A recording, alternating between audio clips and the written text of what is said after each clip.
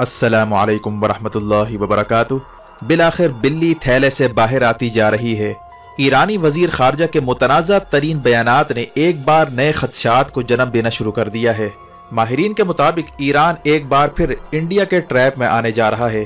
हाल ही में ईरान के वज़ीर खारजा जवाद जरीफ ने अचानक से अफगान तालिबान के खिलाफ संगीन तरीन इल्ज़ाम आयद करते हुए इंडिया की जबान बोलना शुरू कर दी है। वो भी ऐसे वक्त के जब इंडिया पाकिस्तान के खिलाफ वेस्टर्न फ्रंट यानी अफ़गानिस्तान के थ्रू महाज खोलने की कोशिश कर रहा है, आखिर अंदर अंदर कौन सी खिचड़ी पक रही है? ईरान ने एन मौके पर रंग बदलना क्यों शुरू कर दिया है? इंडिया मिडल ईस्ट ममालिक के बाद ईरान से रबते क्यों बढ़ा रहा है? अफगान तालिबान की हुकूमत बनने के खदशात ने ईरान और इंडिया को एक जगह पर क्यों ला खड़ा किया है? मजीद तफसीत में जाने से पहले असलियत टीवी को सब्सक्राइब करते हुए बेल आइकन पर क्लिक करें ताकि हर आने वाली वीडियो का नोटिफिकेशन आपको बर वक्त मिल सके। नाजरीन कराम, जैसे जैसे वक्त गुजरता जा रहा है, हालात ने अपनी चादर उतारते हुए कई लोगों को बेनकाब भी करना शुरू कर दिया है। खुफिया इतलात के मुताबिक पाकिस्तान के खिलाफ वेस्टर्न फ्रंट खुलवाने के लिए अफ़गानिस्तान में नया खेल शुरू किया जा रहा है। और अंदरूनी खलफिशार और धरनों से परेशान इंडिया अब ईरान की मदद से अफ़गानिस्तान में फिरका वाराना फसादात के लिए रबते कर रहा है और बदले में चाबहार बंदरगाह पर काम करने की भी ऑफ़र कर रहा है।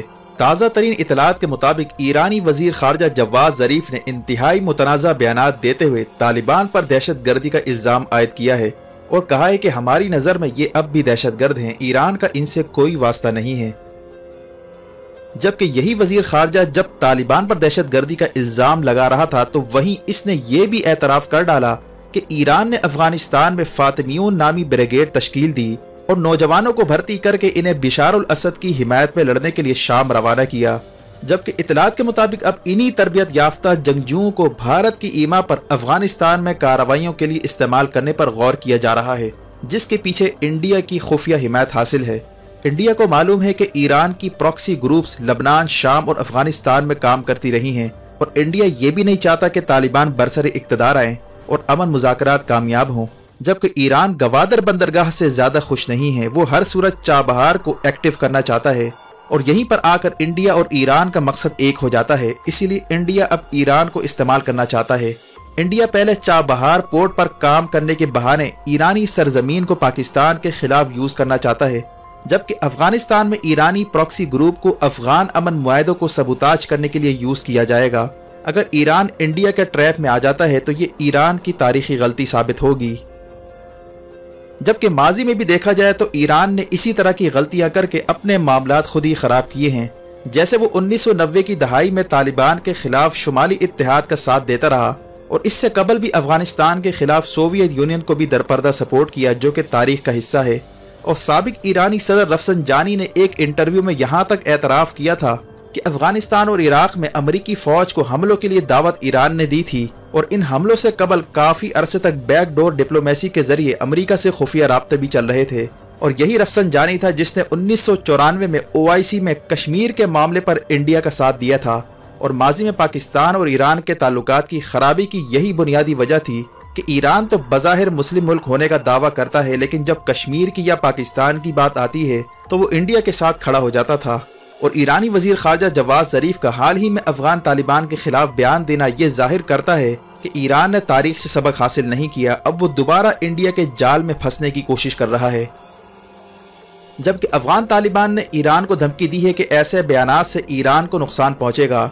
ईरान ने यह बयान देकर हमारी नहीं, बल्कि अफगान कौम की तोहिन की है और ईरान को जल्द अपनी गलती का एहसास होगा।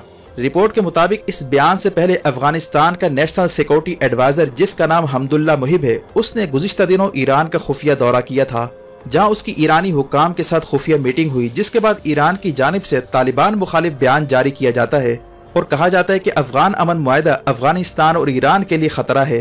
इस बयान से बिल्ली पूरी तरह थैले से बाहर आ चुकी है, क्योंकि अब इसमें कोई शक बाकी नहीं रहा कि अफ़गानिस्तान में अमन माहा तोड़वाने के पीछे जहाँ इंडिया का हाथ है, वहीं ईरान भी ऑन बोर्ड है।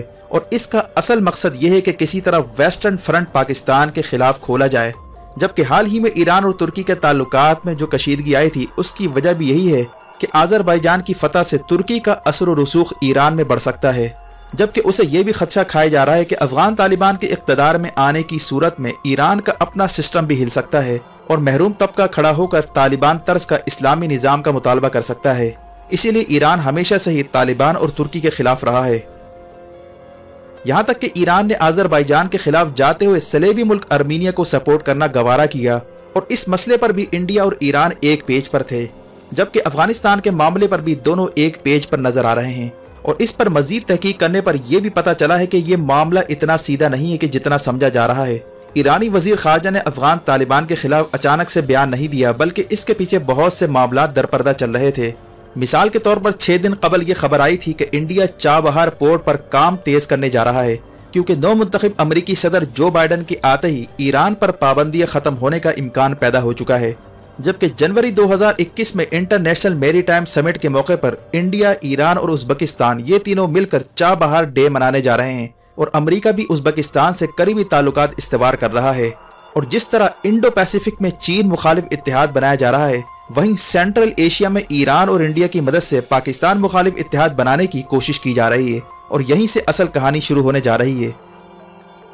क्योंकि पाकिस्तान सीपैक के थ्रू सेंट्रल एशिया के साथ कनेक्ट होना चाहता है जबकि ईरान ने चाबहार बंदरगाह इंडिया की खिदमत में पेश कर दिया है और जो बाइडन से इस वक्त ये उम्मीद लगाई जा रही है कि वो ईरान पर से पाबंदी खत्म कर देगा और इस तरह इनका काम आसान हो जाएगा।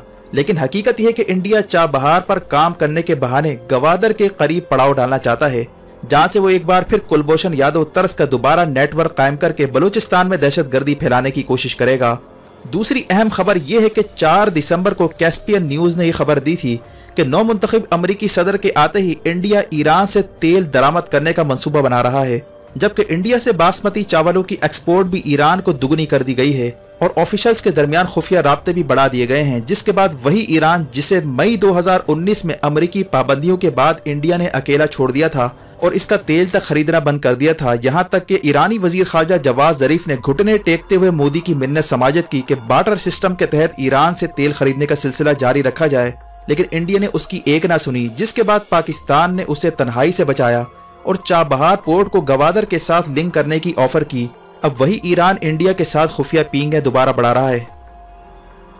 हालाँकि पाकिस्तान ने शदीद प्रेशर के बावजूद ईरान से ताल्लुक कायम किए और कुलभूषण यादव और उजैर बलोच की जानब से ईरानी सरजमीन पाकिस्तान के खिलाफ यूज़ करने का मामला भी पाकिस्तान ने जानबूझकर दबाया और काफ़ी चीज़ों से दरगुजर करते हुए एक नए ब्लॉक बनाने की बात की, यहाँ तक कि ईरान की खातिर गल्फ कंट्रीज़ को नाराज़ किया, क्योंकि गल्फ कंट्रीज़ का ख्याल है कि पाकिस्तान का तुर्की और ईरान की जानब ज़्यादा झुकाव हो चुका है। हकीकत यह है कि पाकिस्तान शुरू से ही मुस्लिम ममालिक में फ़िरका वराना जंगे ख़त्म करवा कर सालिसी का रोल अदा करना चाहता था और यमन, शाम, इराक और अफ़गानिस्तान की जंग ख़त्म करवाने पर ज़ोर देता रहा है। इसीलिए पाकिस्तान ने किसी भी जंग में हिस्सा न लेने का उसूली फैसला कर रखा है। आज अगर अफ़गानिस्तान में अमन की कोई बात कर रहा है तो वो पाकिस्तान है। जबकि इंडिया नहीं चाहता कि अफ़गानिस्तान में अमन आए और इसके लिए वो ईरान को दोबारा इस्तेमाल करना चाहता है। जिस तरह कुछ गल्फ कंट्रीज़ इसराइल के ट्रैप में आते जा रहे हैं, वहीं ईरान को भी इंडिया अपने जाल में फंसाने की कोशिश कर रहा है। और ईरानी वज़ीर खारजा जवाद जरीफ का अफगान तालिबान के खिलाफ हालिया बयान ईरान को मजीद तनहाई की जानब ले जा सकता है। इसीलिए ईरान के पास इस वक्त सिवाय पाकिस्तान और अफ़गानिस्तान के साथ ताउन करने के कोई ऑप्शन नहीं है। इसे ईरान जितना जल्द समझ जाए, ये उसके लिए बेहतर होगा, वरना इस गलती को सुधारने का मौका शायद तारीख ना दे। वीडियो देखने का शुक्रिया। अपना और गिरदोनवाह के लोगों का ख्याल रखें। फ़ी अमान